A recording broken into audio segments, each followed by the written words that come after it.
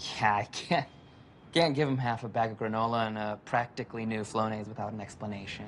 Okay, okay. Well, tell him I, I was here, but I was just stopping by real quickly uh, on my way to a party. Okay. Okay. Actually, tell him tell him that I was uh, going to the gym. Or a date. This is pathetic. Yeah, but he won't stop eating